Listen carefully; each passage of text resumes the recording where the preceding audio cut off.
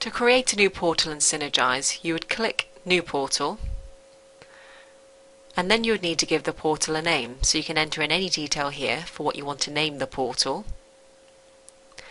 And then for the file name, you would need to add in the file name from where you want to extract the data from your FileMaker database.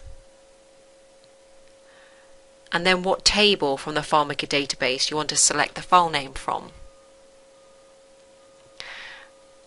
And then once you've completed those details, if you click on Basic at the top, you'll then be able to add in your columns. So you can, if you click New Column, you can then label your column name